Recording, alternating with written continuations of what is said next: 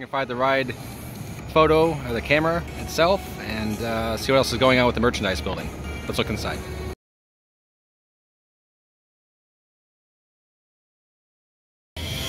Welcome Coaster Addicts, this is Dwayne here at Six Flags Over Georgia. We are, of course, here at Twisted Cyclone. We continue to provide some updates as we lead up to the um, expected opening next weekend. And that's Memorial Day weekend we're expecting still.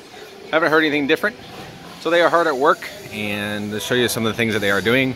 It looks like they are touching up some of the stuff. If you look right here, you'll see they're kind of working on some different things. Uh, potentially finishing up a little bit on the exit ramp and on the outside they put some gravel you see the gravel or the the uh, rocks there um, so all that's all the way around we'll look at that on the way out as well there is some fencing and stuff up as, as you uh, know uh, the, the, crane is still there but we'll, we'll take a look at that speakers of course are in place um, we do have speakers around the other side as well but uh, they still work on the shop. Let's look at the merchandise shop. You see a train in there. Don't think they'll be dispatching today, but we'll uh, we'll see if we can snag that. But right here, see this building is done. A little bit of extra paint, a little bit of things going on here, souvenirs and gifts. This is where you're gonna get your ride photo at, and you're gonna also get the um, the merchandise. So they have some lighting in place now. Looks at screens. That's where the ride photo will be at. So yeah, that's that. I'm gonna go around the corner here. Try to avoid some of this music. Don't get flagged for uh, copyright. The queue area is good. This is all opened up.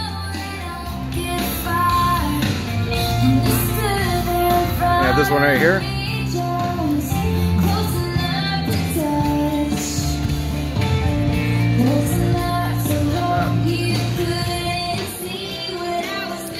So there's that there.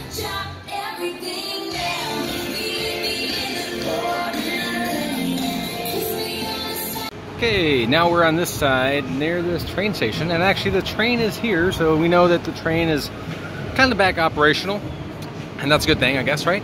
We uh, we definitely are glad to see that, and we'll try to get some footage of that at the end.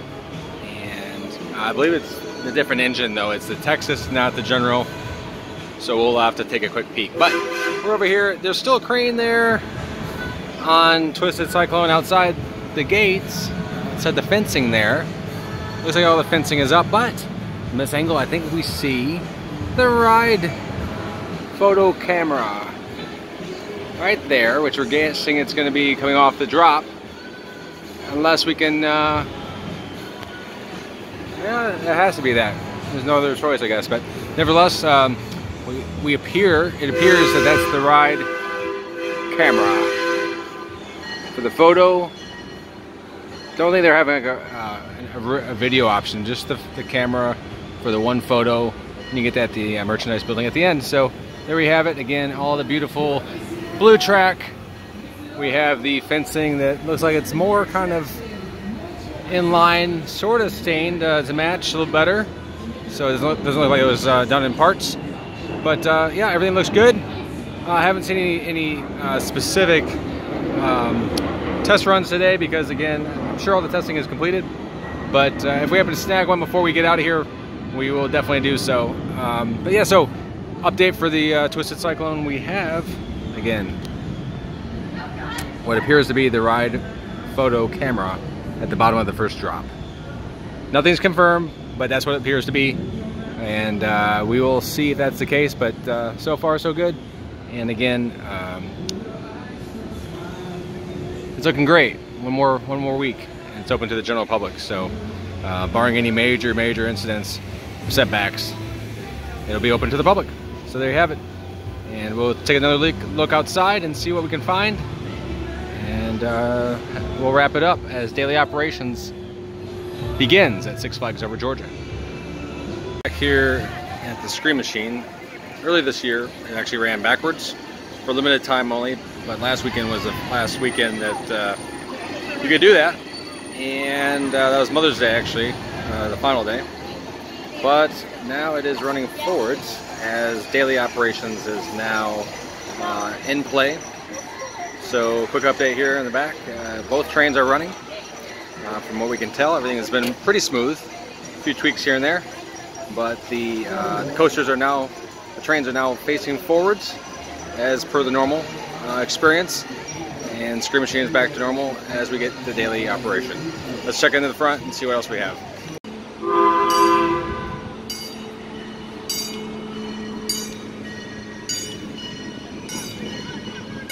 And the train is back running. Uh, it is the Texas, uh, but not the uh, the General. The General the General is still down, but we do have um, the train experience back in order. Uh, two train, um, uh, actually one train, but we have two actual um, seating areas on the train experience. So not a long train.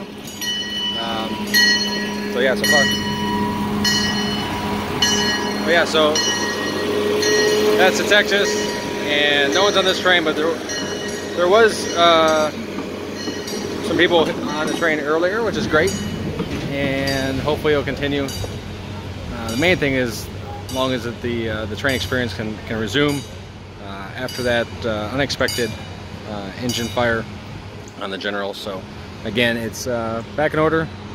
Um, it might be intermittent running for a couple weeks. We don't know. We don't know the status of the General as well.